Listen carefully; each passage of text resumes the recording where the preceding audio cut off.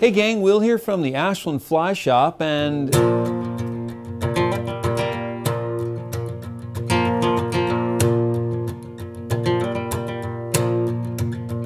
And so in this part of the state and what's happening sort of in this area is And our friends to the south are experiencing